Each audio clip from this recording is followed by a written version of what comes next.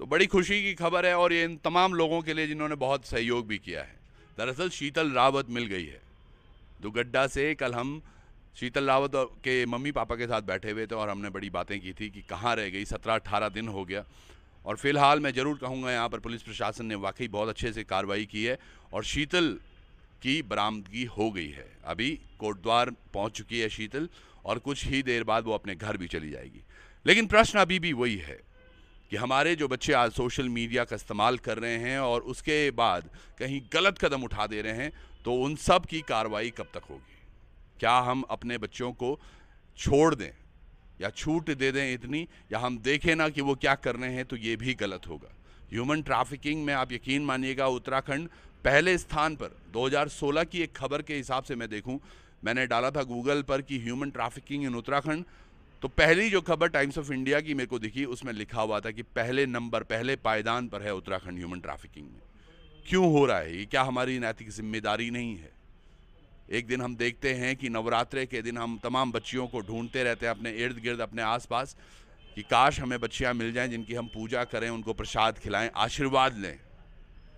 वो बच्चियाँ जो किसी के घर से चली जाती हैं, चाहे मिसिंग किस तरह से भी हो रही हों उनको भी ढूँढने का हम लोगों को उतना ही प्रयास करना चाहिए। खैर, शीतल आज हमारे साथ है।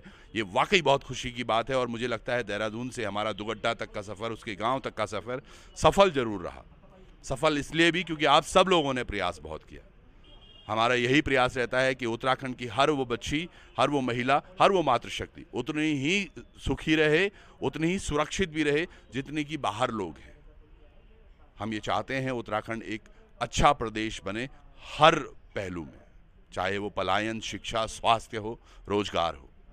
एक खास एपिसोड आप सब लोगों के सामने ह्यूमन ट्रैफिकिंग पर ज़रूर लेके आएँगे, क्योंकि एक शीतल ने सबक ज़रूर दिया है हम सबको। और अगर ये सबक पर हम कार्रवाई करें तो यकीनन चीज़ें हो सकती हैं। हम सबको उसी का प्रयास करना है और हम कोशिश करेंगे कि आज के बाद शीतल जैसी हमारी जो बच्चियाँ हैं, वो मिसिंग ना हो।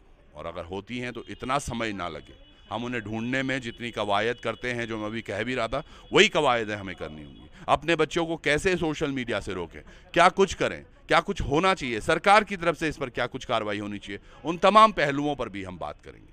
पर यह बात करेंगे हम आज शाम के एक एपिसोड में।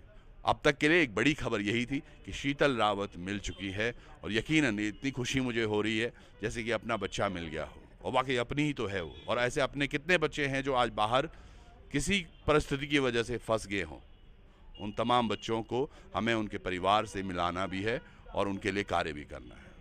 आप सब लोग अपना सहयोग यूँ ही हमेशा देते रहें। मैं त्रिभुवन चौहान आप सबका एक बार तहे दिल से बहुत बहुत धन्यवाद करता हूँ कि आपने पिछली वीडियो बहुत शेयर की, बहुत उसको व्यूज़ मिले और शायद वो एक कारण था प्रेशर बिल्टअप का। मैं हमेशा वही कहता हूँ आपको। हम सब करेंगे, साथ करेंगे तो होगा, परिवर्तन आएगा।